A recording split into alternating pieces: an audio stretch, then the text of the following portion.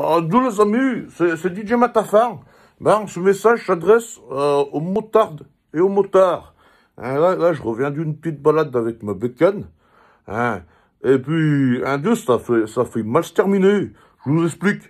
Euh, ce matin, il a plu. Et puis cet après-midi, il a fait grand soleil.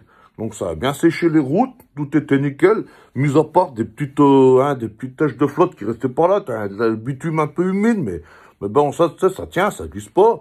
Donc sais, tu prends la confiance. Et puis, en entrée de rond-point, il y avait une tache un petit peu comme ça. Bon, moi, je les, moi, je les évite, hein, parce que tu sais, faut éviter, de toute façon, faut y éviter les taches, quoi qu'il arrive. Mais là, oh, j'ai bien fait d'y éviter, parce que c'était une tache de gasoil.